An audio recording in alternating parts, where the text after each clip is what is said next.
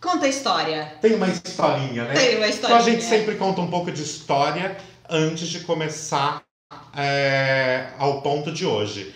Então, até chegar nos hidróxidos, como que foi essa história, né?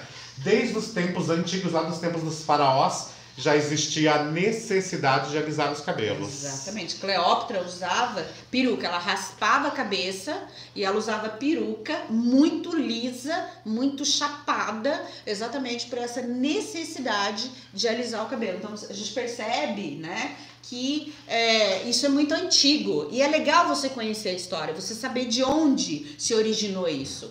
Exatamente. Então, utilizavam-se banho de porco, óleo de peixe, sebo, tudo para deixar o cabelo extremamente encebado, sem um frio, sem um fio fora do lugar. Então, desde os tempos faraônicos, Sim. já existia os, as a necessidade de ter um embelezamento com os fios bem. Cabelos com ferros, né, Madá? Então, É, a gente nem sabe disso, não, né? né?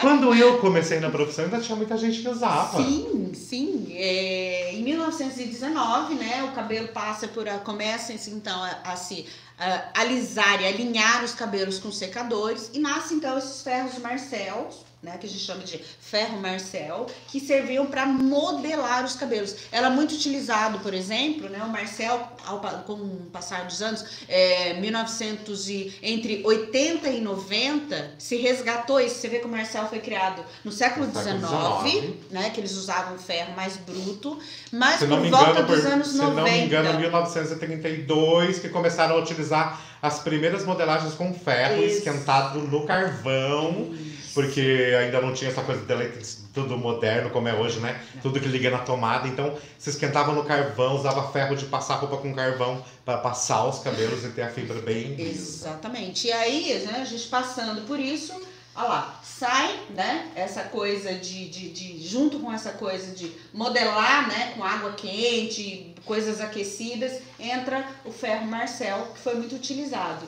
E em 1912, né, é, acidentalmente, Gerrit August descobre o líquido alisante. E aí começa toda essa história de alisamento. E aí a Madá tem um inglês perfeito. Volta lá na foto, minha amiga, para Vou um voltar. Eu gosto. é, eu dei uma pesquisada, né? Você deu uma pesquisada? Lógico que eu ia dar uma pesquisada nisso.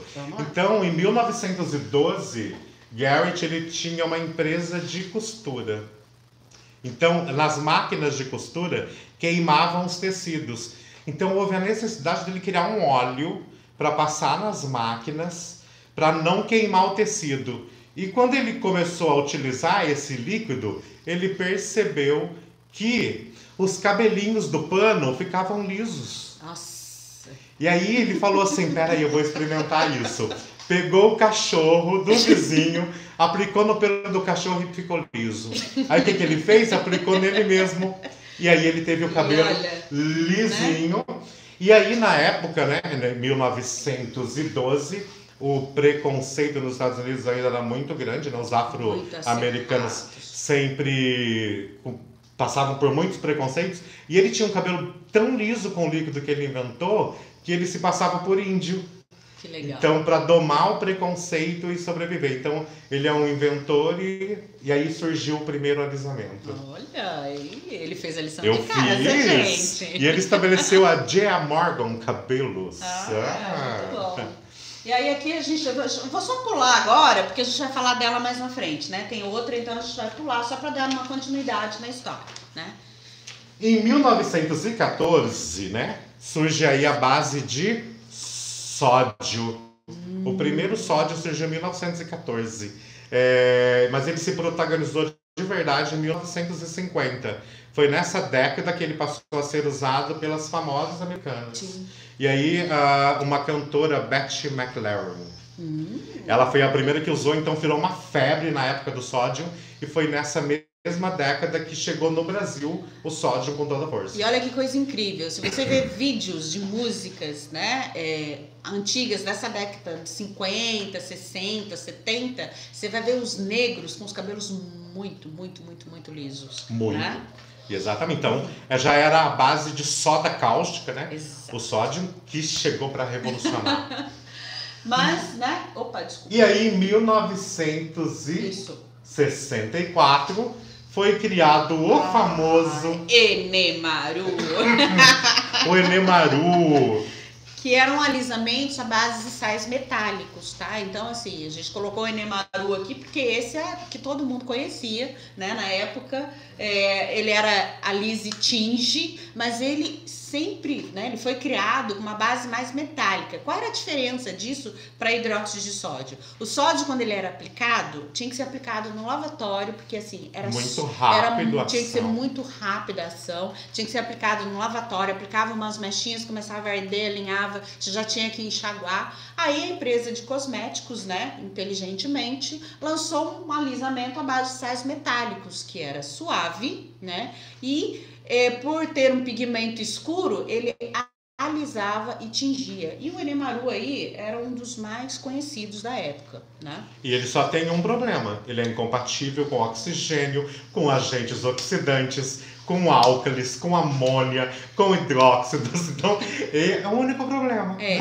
o único problema era esse. Fora isso, alisava e tingia. Em 1970, na contramão aí do movimento do Black Power, né? A gente tem aí a Light Company lança o relaxamento à base de hidróxido de potássio. Então era uma época que tinha todos os cabelos hippies, né? Aquela coisa da liberdade, todo mundo assumindo o seu próprio estilo. E aí o hidróxido de potássio foi lançado na contramão. Exato. Muita gente utilizou, mas ele era extremamente agressivo. E aí nessa mesma época acontecem muitas alopécias de muitas pessoas que perderam realmente é, o nascimento de novos fios pela agressividade do produto. É, por, por ser tão forte, né? E o que é engraçado é que assim, a moda vai e volta. Vocês veem, em 1970, todo mundo usava Black Power, não sei o que, e na contramão queria que alisar. O que eu acontece falo hoje? que eu falo que o nosso país é tão democrático, não é um mundo democrático. Exato. Não é porque tem uma onda de ficar crespo que todo mundo vai ser crespo. Exato. Tem quem gosta do liso, tem quem gosta do crespo. Como tem hoje. quem gosta do azul, tem gente que gosta do amarelo, né? Exato.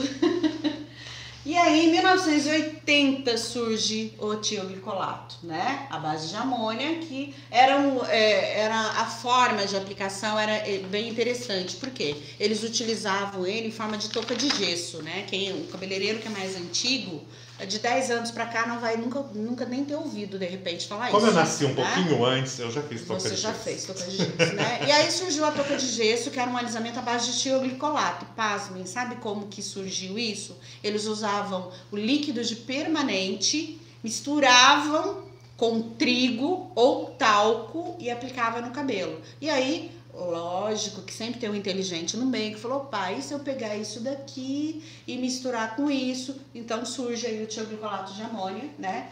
Pra, fazendo touca de gesso e líquido de permanente.